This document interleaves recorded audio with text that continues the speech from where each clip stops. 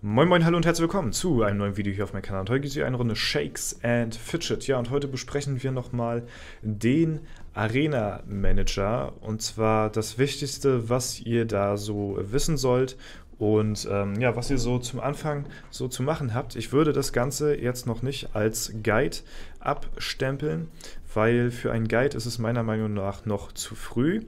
Äh, wir sollten da lieber noch mal ein paar Monate warten, denke ich mal ja, vielleicht einen Monat oder so, dann kann man davon sprechen, dass man auch schon einen Guide machen kann. Stand heute, 26.09., wo ich das Video aufnehme, falls das irgendwann mal hier veraltet sein soll, weil es kann ja schon mal vorkommen, äh, dass äh, hier noch einiges passiert, aber das dann in naher Zukunft nicht mehr aktuell ist. Äh, so viel schon mal vorab. Ja, wir haben jetzt den Arena Manager ein bisschen schon kennengelernt und ich habe ihn jetzt schon ein paar Stunden gespielt. Gestern hatten wir einen richtig krassen Livestream dazu gehabt. Da waren wir, glaube ich, teilweise über 110 Zuschauer. Das war schon richtig insane. Vielen Dank für, dieses, für diesen Support auf jeden Fall an der Stelle.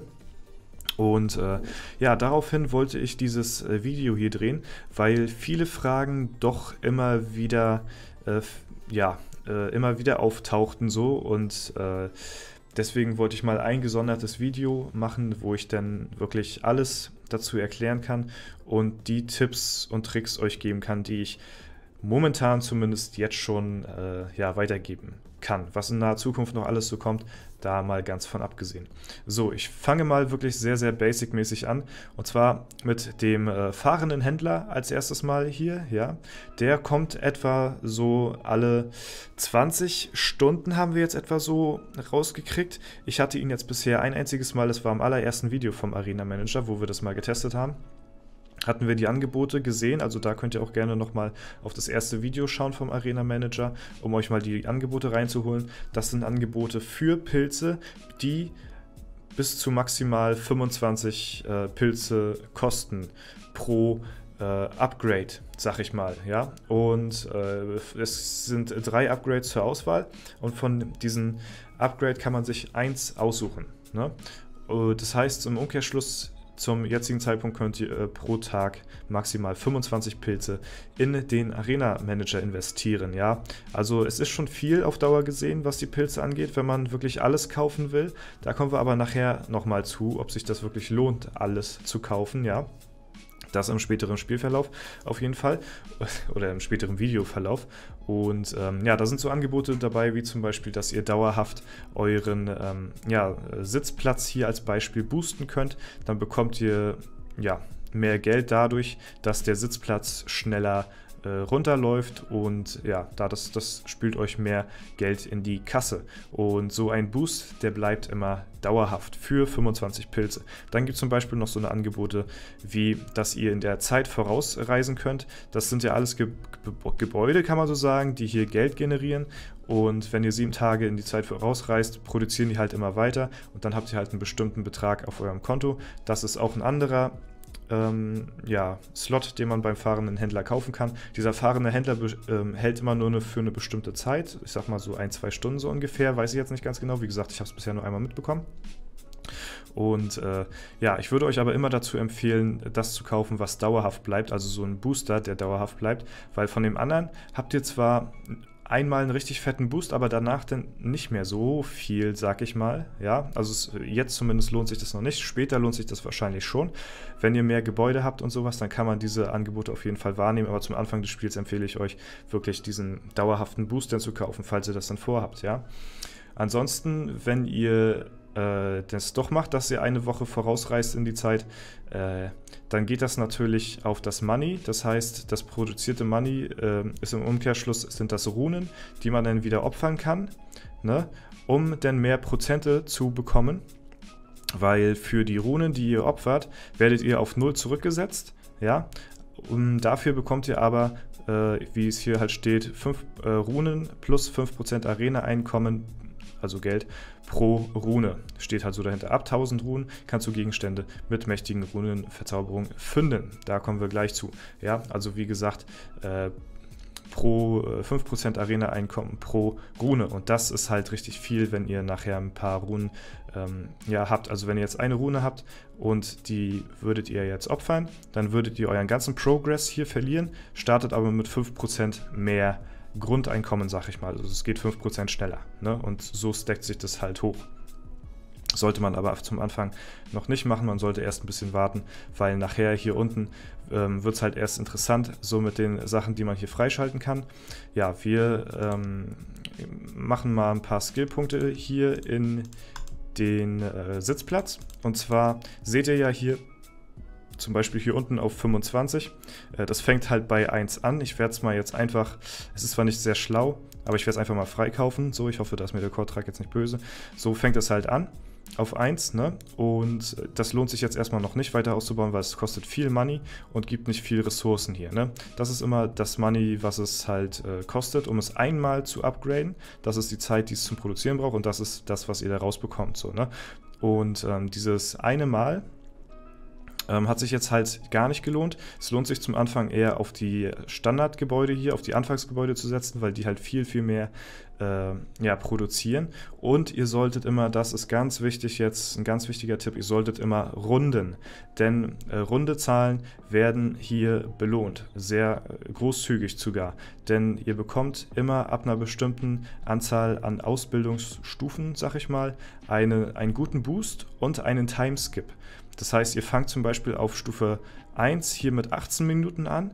Wenn ihr die jetzt auf Stufe 2 habt, 2 äh, sind halt 25, ihr müsst 25 Mal ein Gebäude ausbauen, um das halt auf Stufe 2, sag ich mal, zu bringen. Es steht hier nirgends in Stufe 2, aber es ist Stufe 2. Ähm, dann würdet, würde das hier jetzt quasi, ich weiß es nicht ganz genau, nur noch 14 Minuten brauchen als Beispiel, wenn ihr es 25 Mal verbessert habt. Und ähm, ja, gibt dann auch dementsprechend viel, viel mehr Geld. Ähm, das Ganze gibt immer beständig mehr Geld bis zu einem bestimmten Punkt und zwar bis halt zu diesen Rundungen. Da wird das dann mal einen Wert genommen, der exorbitant groß ist und da bekommt ihr dann immer einen richtigen Boost rein. Ja? Und diese äh, Rundungen sind halt immer, äh, sind halt wie folgt.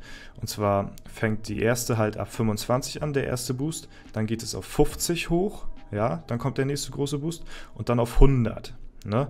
Und zum Anfang solltet ihr dann eher den Sitzplatz auf 100 ausbauen und wenn der auf 100 ist, habt ihr schon mal einen richtig fetten Boost, womit ihr dann euren Popcorn-Stand als nächstes auch auf 100 ausbauen könnt. Und wenn ihr das habt, dann produziert der alle drei Minuten 8000. Das ist richtig, richtig viel. Und dann wird es halt kompliziert so. Dann kommt als nächste Stufe, da bin ich nämlich jetzt schon fast, die 250. Ja, da sparen wir jetzt drauf. Jetzt könnte man sagen, ach, dann könnte man das doch hier unten investieren. Nee, lohnt sich nicht, weil du musst es halt, du musst halt bis zur nächsten Ausbildungsstufe kommen. Ansonsten hat sich das Ganze nicht gelohnt. Ja, und ähm, selbst wenn man das macht, so wie hier jetzt zum Beispiel, auf 25 haben wir das gebracht, bringt das auch nur 2000. Das lohnt sich halt erst, wenn ihr das ein paar Mal ausgebaut habt. ja. Und wenn ihr ein Gebäude halb nur ausgebaut habt, äh, so wie hier zum Beispiel, der grüne Balken steht halt, wie weit ihr von eurer, eurer nächsten Stufe entfernt seid. Ne? Ähm, dann lohnt sich das halt erst wirklich so richtig. Werden wir jetzt nicht mehr in diesem Video erreichen, aber das scheppert dann ordentlich, wenn man eine neue Ausbaustufe erreicht hat. Vor allen Dingen bei den Gebäuden, wo man dann halt viel, viel länger äh, an Zeit braucht. Ne? Ja, das ist so der Tipp. Auf jeden Fall nutzt die Rundungen. Das geht dann halt noch, äh, noch weiter, so bis 500 kommt dann, glaube ich, als nächstes. Dann kommt nachher 750 und 1000. Ähm, da waren wir gestern auf jeden Fall, als die so broken waren, die Werte. Jetzt sind sie gebalanced, jetzt dauert das alles ein bisschen länger. Und ähm, ja, ein ganz wichtiger Tipp auch nochmal, was ähm, auch noch öfter äh, vorkam oder was ich öfter mal den Tipp gegeben habe gestern im Stream. Und zwar diese ganzen Gebäude, es ist auch nochmal wichtig zu wissen, diese ganzen Gebäude, die laufen halt die ganze Zeit ununterbrochen weiter ohne Pause. Ja, das heißt, während ihr auf Arbeit seid, während ihr schlafen seid, oder was weiß ich, womit beschäftigt seid, ja, ähm, laufen diese ganzen Gebäude weiter. Und wenn ihr mal eine lange Zeit nicht vorm Rechner seid, dann empfehle ich euch auf jeden Fall, so weit wie möglich eure Gebäude hier auszubauen. Es bringt nichts, ähm, auf Opfern zu drücken, ja, Es bringt nichts auf Opfern zu drücken und dann offline zu gehen. Weil wenn ihr auf Opfern drückt, dann wird alles, was ihr jetzt hier aufgebaut habt in den Stunden, wird dann komplett geresettet. Habt dann zwar vielleicht ein paar Runen mehr, ja, aber dann müsst ihr das komplett erst wieder neu aufbauen. Das dauert sehr lange oder kann zumindest sehr lange dauern in einem bestimmten Teil des äh, Spiels, ja. Weil später dauert es nachher nicht mehr so lange, wenn ihr Summen erreicht habt, die ja, weiß ich nicht, schon ähm, out of space sind, sag ich mal, dann könnte es nicht mehr so lange dauern, aber vor allen Dingen zum Anfang dauert es lange. Deswegen äh, empfehle ich euch, wenn ihr auf Arbeit seid oder schlafen geht, ähm, baut alles so krass aus, wie ihr könnt, denn diese acht Stunden, wo ihr schlafen seid oder auf Arbeit seid, produziert das die ganze Zeit weiter, ja, und es nützt halt euch nichts, wenn ihr opfert, ne, und ihr habt dann alles weg, nur der Sitzplatz bleibt noch und der ist auf Stufe 1, ja, dann äh, bekommt ihr, wenn ihr wieder an PC geht oder am Handy, bekommt ihr quasi nur das, was halt der Sitzplatz hier produziert hat. Deswegen wirklich sehr, sehr wichtig, beachtet den Tipp, bevor ihr offline geht. Ähm, versucht so weit wie möglich zu kommen in diesem ja, in, äh, in, den Ausbaustufen und so weiter, damit ihr über Nacht dann wirklich, so wie in der Stadtwache, dass wenn ihr aufwacht, könnt ihr einen richtig fetten Batzen äh, Kohle abholen, womit ihr dann weiter hier rein investieren könnt. Das, das wird, das ist ein Gefühl, sag ich mal, was noch befriedigender ist, als die Stadtwache morgens abzuholen an einem Gold-Event und dann 100, ähm, ja, 100 Millionen äh, ähm, ja, durch die Stadtwache in der Nacht generiert zu haben weil ähm, das bringt euch hier nochmal viel, viel mehr, wenn ihr morgens aufwacht. Vor allen Dingen diese langen Gebäude, die halt wirklich Stunden brauchen, bis die einmal durchgelaufen sind.